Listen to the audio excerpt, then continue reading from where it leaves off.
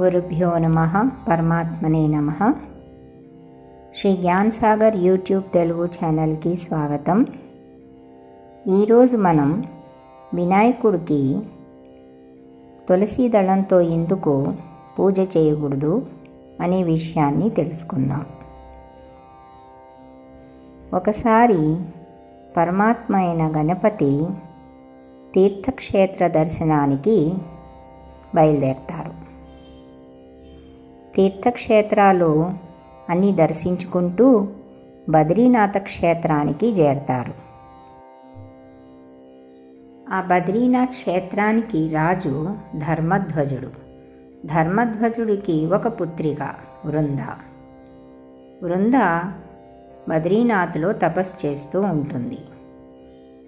అప్పుడే అక్కడికి వినాయకుడు కూడా వస్తాడు. వినాయకుడిని చూసి వృందా లేచి నుంచుంటుంది. లేచి నుంచుని ఇలా అంటుంది. మీరు నన్ను వివాహం చేసుకోండి.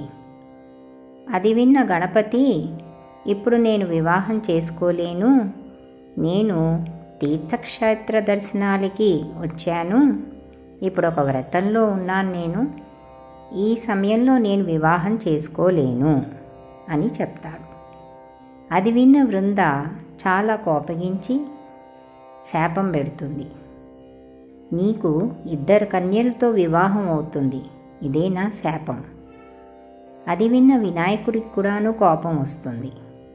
నీకు శంఖచూడుననేటువంటి రాక్షసుడితో వివాహం జరుగుతుంది. ఆ తర్వాత ఈ జన్మ అయిపోయాక మళ్ళీ జన్మలో రాబోయే జన్మలో నువ్వు తులసి వృక్షగా ఉద్భవిస్తావు. అది విన్న వృంద చాలా బాధపడుతుంది ఏడుస్తుంది దుఃఖిస్తుంది.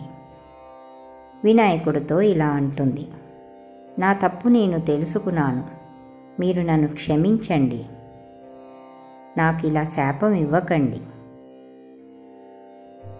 ఇది విన్న గణపతి దేవుడు వృందతో ఇలా అంటారు నేను సూర్యనారాయణ ముందు నీకు శాపం ఇచ్చాను. అందుకని ఈ శాపం వెనక్కి తీసుకోలేను. కానీ నీ తప్పు నువ్వు తెలుసుకున్నావు కాబట్టి నీకు వరం ఇవ్వగలను. వచ్చే జన్మలో నువ్వు తులసి వృక్షంగా మారినప్పుడు సాక్షాత్ పరబ్రహ్మ శ్రీమన్నారాయణుడికి నువ్వంటే అత్యంత ప్రియురాలు అవుతావు. నీ దళం లేకుండా శ్రీమన్నారాయణ పూజ జరగదు. శ్రీమన్నారాయణ పూజలో నీ దళంతో పూజ చేస్తే స్వామివారు అత్యంత ప్రసన్నులవుతారు. ఈ శాపం నేను నీకు ఆదివారం ఇచ్చాను కాబట్టి నీ దళాలని ఎవరూ కూడాను ఆదివారం కొయ్యకూడదు. తర్వాత నా పూజలో తులసి దళాలతో పూజ చేయకూడదు. ఒట్టి వినాయక చవితి రోజునే తులసి దళం పెడతారు. ఇంకా ఎప్పుడూ కూడాను నా పూజలో తులసి దళాలుతో పూజ చేయకూడదు. ఒకవేళ తెలిసి కానీ తెలియక కానీ తులసి దళంతో నాకు పూజ చేస్తే అంటే వినాయకుడికి పూజ చేస్తే అత్యంత దారిద్ర్యం పడుతుంది. డబ్బు నిలవదు అని వినాయకుడు చెప్తాడు. ఈ కథ గణేష్ పురాణంలో వస్తుంది. అందుకని మనం ఇప్పటి వరకు ఏం తెలుసుకున్నామంటే